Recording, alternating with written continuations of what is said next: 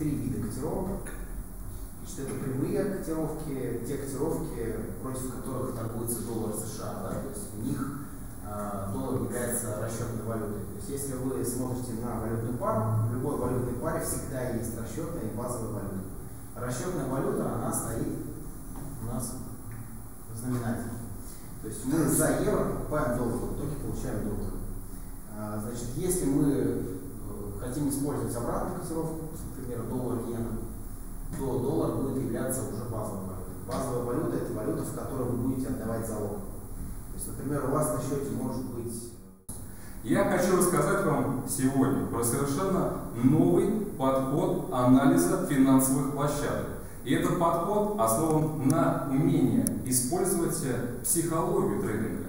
А кто-нибудь слышал про такое понятие, как маркетмейкер?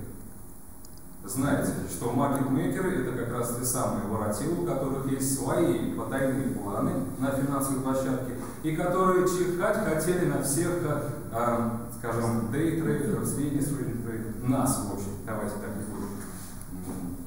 Говорим так, как есть, называем вещи своими именами.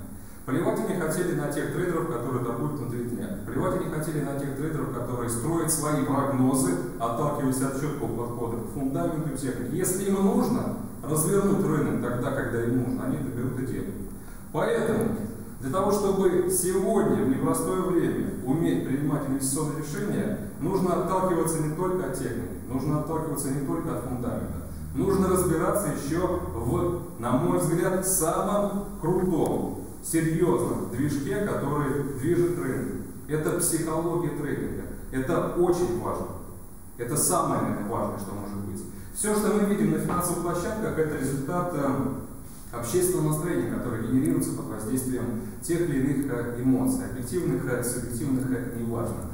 А толпы ритейл-трейдеров из недели в неделю, из месяца в месяц, из года в год демонстрируют